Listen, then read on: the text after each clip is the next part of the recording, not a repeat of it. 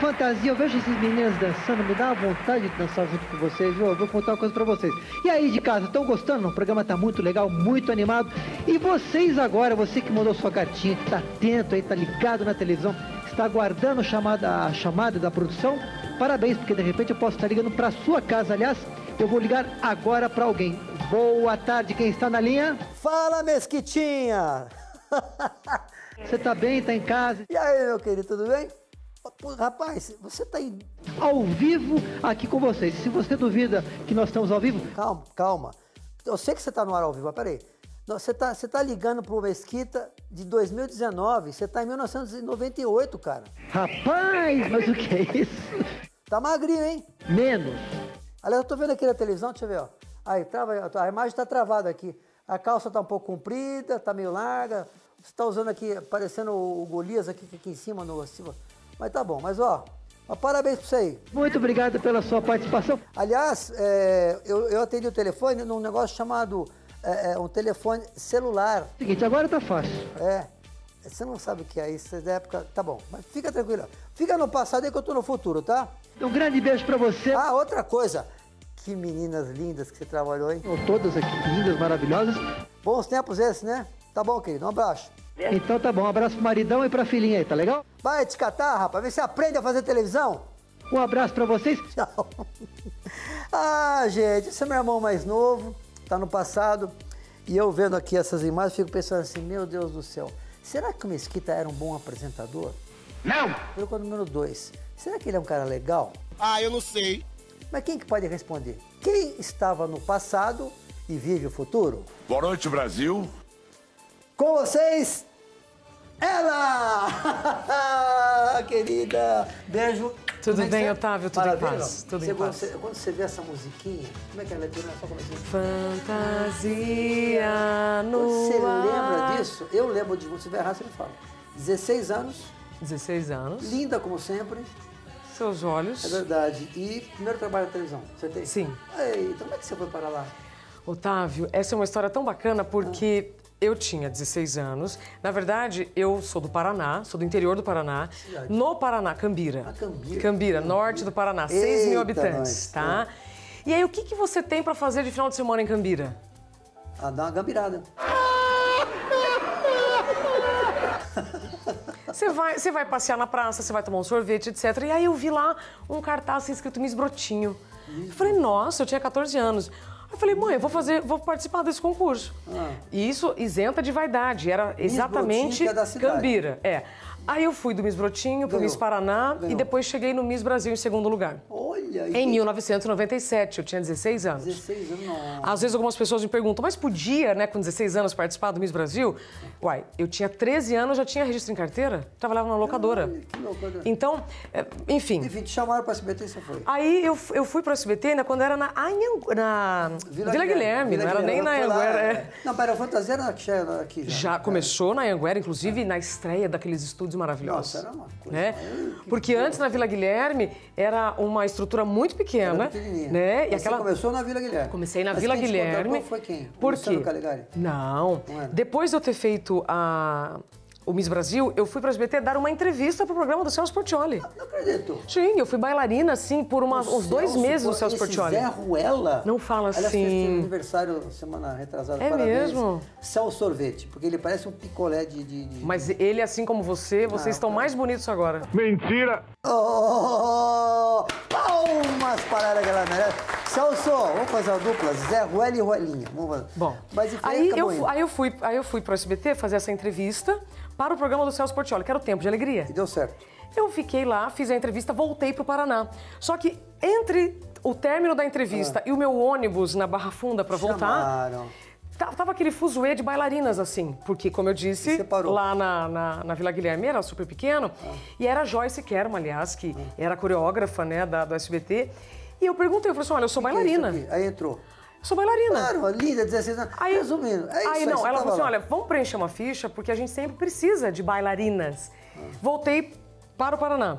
Depois de alguns minutos, Deu certo. depois de alguns dias, o SBT me ligou para ser bailarina do Celso Portioli. Palmas para a gente, pode falar uma coisa linda. Agora, o mais engraçado, e ela vai contar a verdade que você é minha amiga hoje, você é minha irmãzinha, eu te adoro. é, somos amigos há muito tempo. Eu vou contar uma pra você que é, poxa vida, estamos falando de 21 anos. 21 né? anos. E é linda, eu solteiro na época, dei três paqueradas nela, ela me deu umas bicudas. Que mentira. Mas que mentira. não, a paquera, na época, a, paquera era assim, tipo, você é linda. Nossa, puxa vida, a gente vamos marcar um dia pra gente ir no, no shopping. Os papinhos Ah, sem vergonha, sabe? Ah, ela falou assim, ah, convida a sua mãe, a sua irmã. Não, mentira. Sabe por Tô quê? brincando, tô brincando. Otávio sempre gostou de loira. É, oi, oi. Você Não vai- pode falar? Pode agora, mas Otávio por que sempre gostou de loira. Você não me chavecou, não. Nada, imagina. Mas olha, o importante é o seguinte, é que foi uma época maravilhosa. E era, as meninas eram muito certinhas, né? E naquela época, com todo o respeito, gente, 15, 16 anos, eram todas virgens, o que eu acho, acho legal também. Uhum. Só que não, né, gente? Oh, meu Deus do céu. Otávio. Ai, que legal falar Agora, com você. o mais curioso foi. Opa, Opa, caiu uma- caiu meu brinco. mim. O Tá. mais curioso Ah. é que, depois do Tempo de Alegria, quando começou a surgir a seleção pro Fantasia, o programa se chamava 50 Estrelas, sabia? 50, eu lembro disso. Porque tinha que ter 50 meninas que soubessem cantar, dançar, Verdade. interpretar, que Você era um, um modelo lá dos Estados Unidos que o Silvio trouxe pra cá. 12 mil meninas. Isabela, você, na verdade, depois fez faculdade, se formou, enfim, você tem uma história muito bacana na televisão e você sempre teve esse foco da seriedade, né, do, do comportamental, sempre foi muito sério. Na verdade, porque eu te acompanhei todo o tempo, né? Você ficou quanto tempo no SBT? Só por curiosidade. SBT, como no artístico, foram quatro anos. Ah. Quatro anos. Mas É. depois você fez faculdade. Aí depois eu fui pro rádio, aliás, foi no Fantasia com o Arnaldo Sacomani. Sugeri, na hora de gravar um CD, logo nos primeiros meses de Fantasia, ele falou: quem sabe cantar? Eu tinha 16 anos, eu falei, não tenho nada a perder. Ele colocou o microfone e comecei aqui. Você tá brincando? Aí eu pensei, eu falei, vou lá. Então canta. E aí, sabe o que eu O cantei? que você cantou? Cantei assim, ó. Bem que se quis. Por quê? Porque era a música que tava rolando no rádio E naquela cê- e época. cê mandou bem. Marisa Monte. Uai, aí ele pegou e falou assim pra mim, menina, o que, que você vai ser quando crescer? Aí eu falei, ah, provavelmente Sacomani? o Arnaldo Sacomani. Tem o telefone dele? Tem, não? Puta Ele pegou e me disse assim, ó, o que que você vai ser quando crescer? Eu falei, ah, eu devo voltar pro Paraná, né? Vou continuar minha vida. Aquilo tudo era muito aventura, muito, muito... Não tinha um planejamento, nossa, eu quero trabalhar na TV. Eu nem sabia o que era São Paulo quando eu vim pra cá. Não sabia nem que tinha metrô, tá? Bom, aí o Sacomani falou, se eu fosse você, eu procuraria o rádio, porque a sua voz transmite muita credibilidade. Você não fazer faculdade ainda. Não, tinha 16 anos. Aí eu disse o seguinte, eu falei, bom, ok. No dia seguinte eu estava no Senac fazendo curso de radialista. Então foi através desse comentário do Sacomani que eu fui pro rádio. Sacomani faz parte da tua história, então. Total, ele sabe Bom, disso. rádio, depois, é, Aí sim eu fui pro Hard News. Faculdade, uma faculdade? Faculdade de jornalismo, depois pós-graduação. E aí, aí entrei no Band News TV, aí já como jornalista, como Ah, apresentadora. Band News, é verdade. Band News TV. Quem te convidou para isso? Você lembra na época? Quem era jornalismo lá? Sim, Humberto Candil. Candil, Humberto claro. Candil. E o curioso é que quando me chamaram para fazer o teste do Band News, aquilo era uma coisa muito high level. Até porque eu morava no Paraná e lá não tinha esse negócio de TV não, a cabo. lá era maravilhoso. Não, Não até é? hoje a Band News é... Muito, adoro. A, a Band foi um grupo Band? maravilhoso. Na Band, seis E anos. foi lá que eu te reencontrei, que a gente cruzava, Exatamente, né? Se cruzava. exatamente. Era muito legal. Você vê só como é Foi. Band News TV e depois Band. Depois Band. É. Aí depois Na que eu- Band você fez o quê? Jornal da Band, Jornal Jornal, da da, Band. Noite. Eu Jornal da substituí o Boris, substituía o Boechat em algumas ocasiões. Mas você, sabe, a única coisa que eu não gostava de que você Ah. fazia no, quando você substituía o Boris? Você não falava boa noite, você falava boa noite. Boa noite. Boa noite. Boa Pera um noite. pouquinho, Você prefere esse boa noite Boa noite. ou esse? Boa noite e ótimo domingo pra você. Ah, eu prefiro esse aqui. Ah. Muito- boa noite. Boa ah, noite. mas eu achei. Boa noite. Querido, é o seguinte, Isabela Spaghiari. Spaggiari. Spaghiari. É isso o nome? Spaggiari. Italianíssima. Italianíssima Né? da gema. Il piace il carnavale brasiliani? No, Ah. no. Mas você não fala italiano. Io sono brasiliana, ma Io non parlo. Eh, non tu sei parlo. così, per questo ti voglio bene. Bom, vamos falar em português mesmo, que é bom. Ah! Sim. Bom, é o seguinte, eu tenho aqui, rapidamente, umas fotos que são muito importantes, que você, as pessoas não sabem as fotos que eu mostro. Então, eu mostro primeiro para quem? Para você, é isso ou não? Primeiro para você, ó, quem é ele? Meu avô. É... Meu avô Antônio Spaggiari, Spaggiari. né? Ele nasceu Exatamente. onde? Ele nasceu no Brasil, mas Ah, o no Brasil. pai O pai dele é dele, que né? veio de Scandiano, do norte da Itália. Scandiano. Scandiano, Scandiano. Scandiano. Eu, inclusive, fui para a Itália para ver minhas origens, uma cidade pequititica. A cidade família, da que a minha família saiu de lá. Eu sou Zanetti Mesquita, Zanetti italiano. E você sabe que o, o primeiro Mesquita que veio para o Brasil, isso o meu tio Milton Mesquita, que está com 90 e poucos anos, está dói, mas está bem, é, ele, o primeiro Mesquita veio da Itália Uhum. e simplesmente é, num navio que foi para em São Sebastião, Muitos. muitos pararam ali, na época eu não sabia disso, 1800 e Uhum. mil boi, e ele pegou lá, no bom sentido, começou a namorar a filha de um dono fazendeiro lá e ali nasceu os primeiros Mesquita. Viu? E virou essa merda que vocês estão vendo aqui. E vem cá, e ele veio do norte ou do sul da Itália? Ah, veio. Luca, né? Que é Luca? Luca é. Norte. Norte. É, Norte. Bom, é o seguinte, ó, que fofex! Que fofex! Ai, gente. Que linda! Meu pai. Teu pai, Meu pai. Teu pai vivo hoje? Professor Brasil, não, não. Ah, ele feliz. partiu no ano que eu vim para São Paulo, O 1997. que, que ele teve? cedo Professor, é, um grande, um grande mestre, na verdade, de muitas assim? pessoas. Professor do que na época dele? Professor de economia. Economia, que coisa. Ele faleceu com quantos anos? Ah, uns 60 e alguns. Ok. Olha aqui que bonitinho. Gente, que fofinha. Coisa mais meiga. Oh, Aqui você tinha... Uns dois anos. Você vê que é overdose de vermelho, né? Minha mãe adorava vermelho. Eu tô de roupa vermelha, mesa vermelha, meia vermelha, sapato vermelho. um símbolo vermelho comunista. Isso aqui é lá em Cambira. Em Cambira. Ó, os azulejos, né? Do, do olha.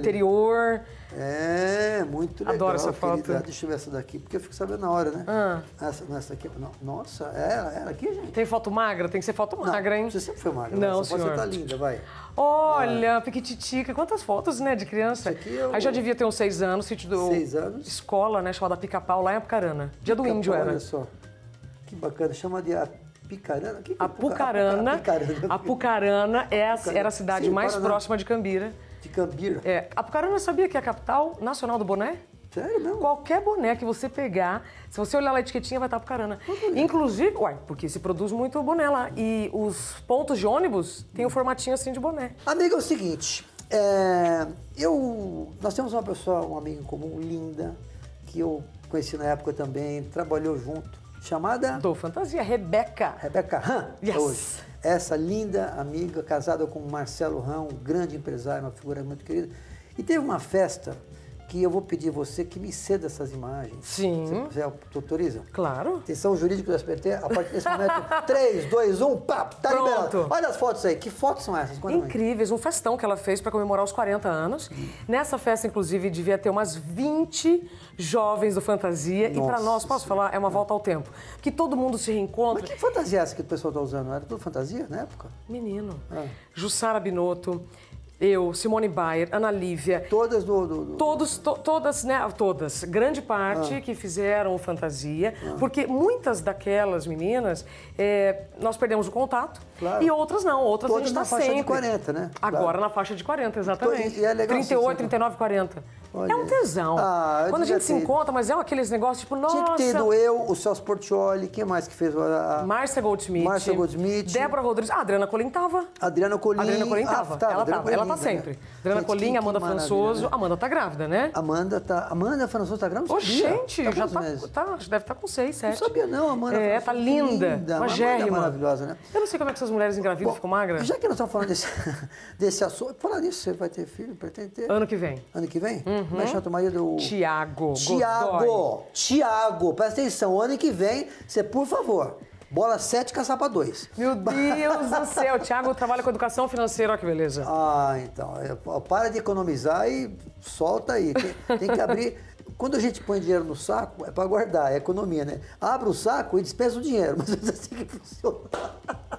Piada sem graça, né? Querida, é o seguinte, agora vamos mudar, falando um assunto sério. Eu fico pensando, como é que pode as pessoas acordarem meia-noite e meia, uma hora, acordarem, por quê? Eu lembro disso, se você me desse essa liberdade. Umas, uns jantares na casa dos amigos, amigos, ah, eu tô indo embora, mas como indo embora? São meia-noite e meia agora. Ah, Otávio, eu tenho que ir embora porque eu tenho que ir pra Globo. Sim. Se é direto trabalhar. É isso, isso se eu, se eu vivi... dia, né? Porque você- Então, nesse... Você acordar meia-noite? Hum, Então, hora? eu acordava meia-noite, uma ou duas da manhã. Quando tinha algum evento muito especial, um aniversário de alguém muito especial, o que eu fazia? Eu dormia durante o dia, aí eu fazia, então o inverso, aí eu saía, fazia essa- esse social e depois ia trabalhar. Mas isso foram pouquíssimas vezes. Na maior parte delas, eu tinha que dizer não, obrigada. Porque dizer não para uma coisa que você não quer é fácil. Agora, dizer não para uma coisa que você quer muito, aí Você o imagina bicho quem, pega. quem faz a, a- no, na Globo é Hora 1, como é que chama? Hora Um. Hora 1, né? Sim, foi o jornal que eu trabalhei que é por quatro anos. hoje quem Mona tá Lisa. Mona Lisa. Aliás, Sim. Mona Lisa Perrone, eu sou seu fã. simpaticíssima, adoro. A gente tinha uma troca incrível. Mona Lisa, por favor, eu adoraria te entrevistar. Vou pedir pro Boni, não. Roberto Marinho também não. Mais? Ali Camel. Ali Camel. Ali. Camel. Ali Camel. Esse cara é bom, hein? Ali Camel. Ali Camel. Ali Camel. Olha, Ali Camel. Ó, ela vai para o SBT. Eu tô brincando. Bom, conta aqui uma coisa. Essa crise chamada... Burnout. Síndrome burnout. Curto e grosso. Eu sei que você já foi tudo quanto é canto. A gente tem um tempo aí limitado, mas... É excesso de trabalho isso? Excesso de trabalho. É originado no ambiente em que a pessoa ela está sobrecarregada. Isso não significa que a pessoa, ela, por exemplo, isso está envolvido ao número de horas e o que a pessoa faz nessas horas. Então, por exemplo, no meu caso, eu e os médicos que me atenderam, e foram vários, atribuíram o meu burnout a duas coisas principais. Que que é? Uma, o horário que eu trabalhava. Então, Que eu acordava noite. meia-noite, uma ou duas da manhã. E isso interferia totalmente no meu ciclo circadiano, que é o ritmo do Circadiano, corpo. o que que é isso? Ciclo circadiano. É o seu relógio biológico. Ah, assim como o sol, ele nasce E a- em um determinado momento e ele se põe, a gente também. O horário em que os seus hormônios são produzidos é igual melatonina, muda, por mas exemplo. você muda, o organismo fala assim, tá bom, eu vou aceitar. Não tem isso? Não. Ah, não? Não. Você tem artifícios para sofrer menos. É, a, a Perrone está há quatro anos lá. Então, mas eu anos. também fiquei quatro anos. Então. Acontece que cada corpo reage de uma maneira. Sua esposa, quando engravidou, não sei se ela teve enjoo ou não. Aí, se você compara ela com uma outra mulher que teve enjoo ou não, você fala, ai, a outra teve enjoo, Na você época- também não pode ter enjoo. Ela não enjoada. Está enjoada de mim agora. Tá, mas Então, aí, né, gente?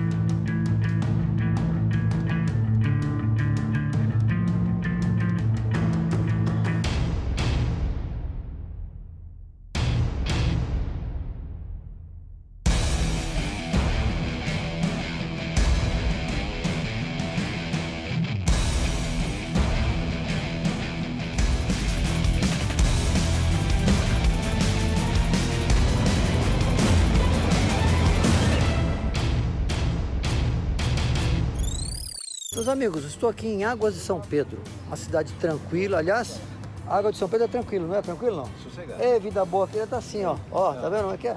Um abraço aí, querido. Sucesso. Quanto tempo tem a cidade aqui? Mais de 70 anos? 78. 78 anos. Aquele lá, meu sogro tem 98. Ei, Mas é que esse cara Tá virou 98 anos de idade? 98. Rapaz, um abraço aí. Legal. Bom, gente, o que eu. Obrigado, abraço. O que eu gosto aqui no Bradesco, aliás, o que eu gosto do Bradesco aqui na cidade é o seguinte: todos os lugares que a gente vai, eu vou até mostrar pra vocês, sempre tem uma agência. Olha isso aqui, ó.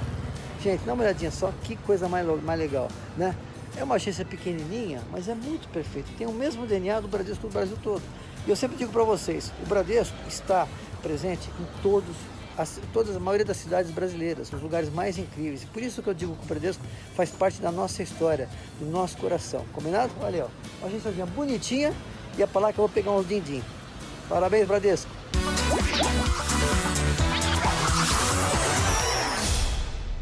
Olha, meus amigos, atenção, você que neste momento quer comprar ou vender um carro. Claro que você vai anunciar onde você quiser, mas aí a história é o seguinte: a pessoa, o tempo que você perder em receber, mostrar o carro, negociar, discutir preço, isso realmente é um saquinho, né? Então é o seguinte. Carflix, anote aí, carflix.com.br.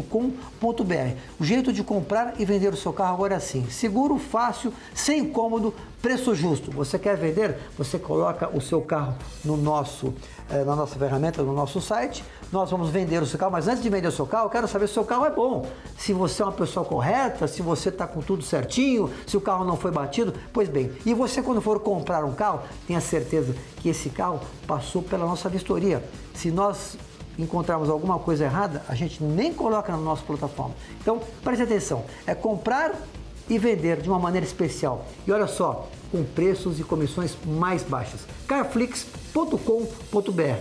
Eu recomendo. Como é que uma pessoa adoece e outra não? Porque somos diferentes, entende? Por mais que, por exemplo, você é homem, nosso amigo aqui é homem, vocês são homens, vocês sentem a mesma, mais ou menos, mais ou menos, mais ou menos, mais ou Ah, menos. pai, Ó, tem uma menina aqui. Por exemplo, aí Você você, apontou o cara errado, mas tudo bem, eu gosto dele também. Eu falo, e aí você. vocês sentem a mesma dor? Se você, Ah, se- diferente. Então, Não, são pessoas então diferentes, né? Então, o ritmo biológico ele vai ser é, impactado de alguma maneira, vai depender de várias funções. Tem a questão genética e tem o ambiente que você vive. No meu caso, então, como eu estava dizendo, o horário que eu trabalhava colocava totalmente meu organismo é, desregulado.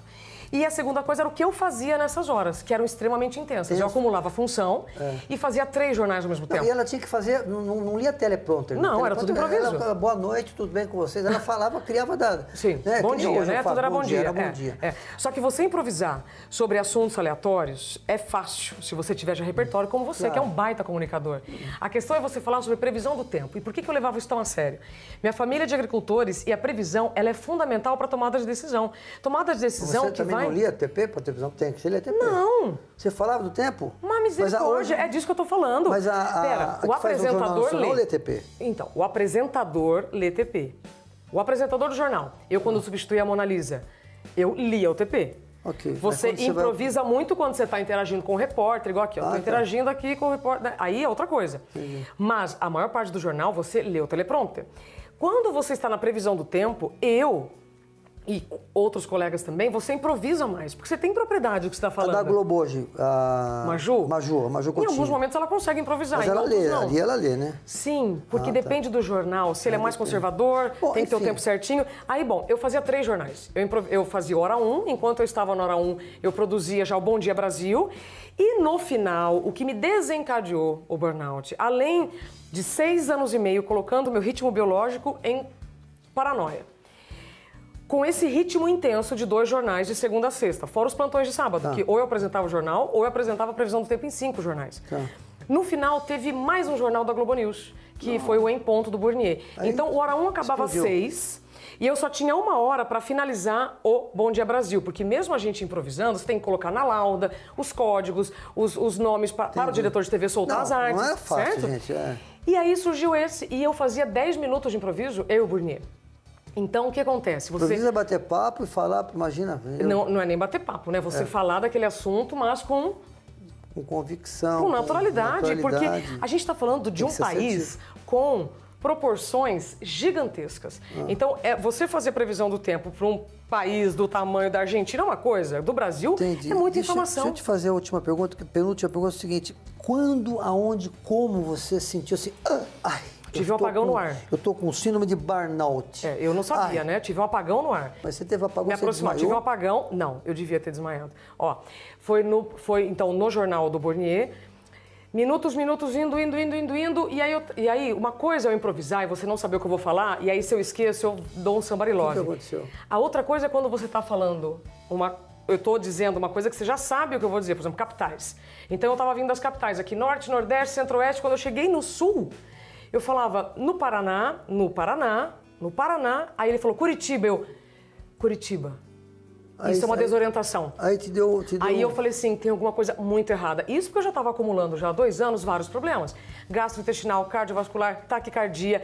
Você não tem vontade de transar louco. nunca. Você Sério perde a libido, Pelo mancha na pele, acne, um monte de coisa. É o seu corpo pedindo o quê? Socorro. Socorro. Só que a gente não ouve, porque a gente vai lidando É, tudo você como vai se fosse trabalhando, normal. exatamente. Vai se automedicando, ah, enxaqueca é normal, ter gastrite é normal. não é Eu, normal. Eu, quando eu tô estressado, eu tomo vinho. Eu fico em Ai, que beleza. Pois bem. é. Mas eu não podia tomar vinho, porque eu tinha que dormir às 5 da tarde. Resumindo, hoje você está curado ou você está administrando? O burnout não tem cura, ele tem tratamento. Mas o que eu costumo dizer é o seguinte: o burnout, gente, não é o fim. O burnout é um freio. Apenas um freio que vai te colocar numa rota certa. O que, que acontece? Eu estava feliz trabalhando de madrugada, eu adorava o que eu fazia, mas já fazia dois anos que eu pedia para mudar de horário, para manter minha saúde. Os talentos hoje, as empresas precisam entender que é, se você fizer pequenos ajustes, você mantém seus talentos. Isso é saúde financeira. Olha, gente, tem tanto. É um assunto muito. Mas já acabou? Não, não acabou. É Meu Deus do céu, eu achei que já tinha acabado. Só meia hora. Eu fa- eu falaria muito mais. Aliás, eu, vou até pedir que você volte novamente para falar com a gente, porque é o seguinte: esse assunto de estresse, vamos chamar assim, é muito, muito importante a gente poder divulgar isso para vocês. E você de casa, que de repente está sentindo alguma coisa diferente, prestou atenção no que ela disse, ou seja, a pessoa tem que se cuidar, simplesmente procurar o que, como, aonde, dá um resuminho. Primeiro, psicólogo ou psiquiatra. Acho muito curioso o preconceito que as pessoas têm, porque assim, se você tem um problema no dente, você vai aonde? No dentista. Se você tem um problema financeiro, você vai aonde? No banco. Você tem um problema com a por que esposa, vai pra onde? Sei Vou- lá. não vou falar. Aí, se você precisa, né, não? ó, se você precisa organizar as ideias, as pessoas têm preconceito de ir no, no- no- no médico especialista, que é um psicólogo, ou Psicólogo. psiquiatra. E ele- O tratamento do burnout, ele pode ser com medicamento, com terapia, mas principalmente com mudança de estilo de vida. Então, quem está nos assistindo, perceba que é o seguinte, a gente está lidando com um modelo de sociedade novo. Só há 150 anos a gente tem luz elétrica e não me venha falar que burnout é novo. Burnout é um nome novo para síndrome velha. Nossas mães tiveram estafa, nossas bisavós tiveram neurastenia. Quando você vai pesquisando, que é o que eu estou fazendo desde então, você vai ligando todas as pontas, não fica uma solta. Amiga, deixa eu dizer uma coisa pra você, de coração. Parabéns, você tá ótima, você tá linda, você tá especial. É, vi agora recentemente você o Silvio também ali. com- Aí você fez uma brincadeira, o Silvio falou, mas, Uhum. Rolou. mas eu venho aqui, trabalho, eu vou embora. É isso não? É. E- Na verdade, ele perguntou onde você tá. Eu falei, tô livre pra voltar. Ah. Né? Porque quando eu disse pra ele, eu sou sua cria, Silvio. Ele, que cria? Parecem uns filhos meus. Eu falei, não, não é esse tipo, né?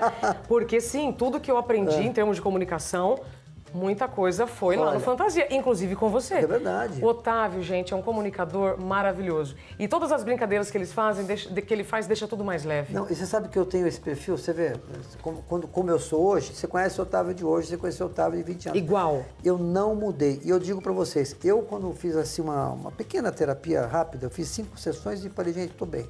É, eu descobri que o bom humor, a tranquilidade, a- a- você se divertir, você. é, Tudo bem, tem pessoas que te acham chato, dizem, ah, esse cara é babaca, brinca muito. Mas isso te dá uma longevidade fora do comum. O que o meu terapeuta falou, meu ex-terapeuta hoje meu amigo, falou assim, Otávio, a parte boa de você ser um cara muito alegre, muito extrovertido, muito bem-humorado, é que você vai é, perpetuar mais, você vai passar dos 95, Sim, como o Silvio também vai passar, com Sim. certeza. A parte boa, a parte ruim é que você vai enterrar todos os seus amigos e você vai sofrer muito. Isso você tá se prevenindo do burnout e do estresse, com Olha, certeza. que, ela escreveu aqui pra mim, gente, Mesquita, você sempre foi muito lindo, maravilhoso. Ah, Pena que mentira. vai dar- Não, não, não, não. Olha aqui, ó. Que o tempo sempre esteja ao seu favor. Beijo com carinho, querida Isabela. Que o tempo esteja a seu Camargo. favor, que você saiba utilizar o seu tempo para você, mas isso você sabe bastante, Eu quero né? te ver no SBT, com certeza. É um Oba. beijo Sucesso. Um Parabéns. privilégio. Volta É sempre que você quiser. Falar E de outras é, coisas. E, e para encerrar, eu vou agora, já que eu tô aqui, só um minutinho só, pera um pouquinho só, pera um pouquinho só, que eu vou ligar agora para 1998. 0800, 0800. 0800 na época, né? Zé, Não, mas eu tenho, eu tenho contato direto aqui. Pera um pouquinho. Alô? Ô, Mesquita, eu vou soltar mais um trechinho aí do, do, teu- do teu programa, tá bom? 1998. Rapaz, é. 21 anos atrás. A Isabela tá aí atrás, né? Uhum. Tá vendo? Tá bom. Te- vai te catar, rapaz. Vai lá, Mesquita.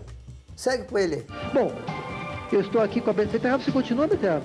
Que coisa, pensei que você tinha ido embora, se tivesse tomado café. Seguinte, quem está na linha? Alô?